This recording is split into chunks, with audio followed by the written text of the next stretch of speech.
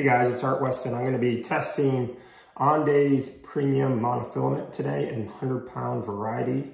Um, it uh, tested dry for me, uh, unsoaked at about 105 pounds.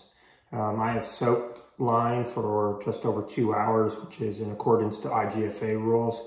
And um, that usually degrades the line by, let's say, three to 5%. So my guess is that it'll break right around 100 pounds. Let's see how it does. Putting it on the bollard system here and the digital force gauge. Just takes a second. That. Clip off this tag end.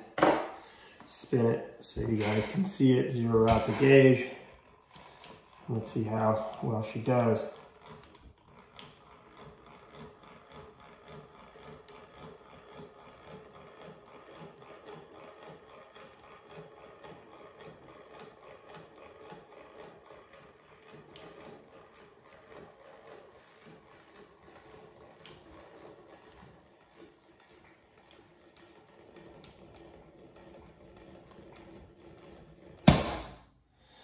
99.8, so just around what I thought. Uh, again, it tested dry at about 105 pounds, soaked, usually lose uh, 3 to 5%, so right in line with expectations. So again, that's Ande um, Premium monofilament in a 100 pound test. Thank you guys.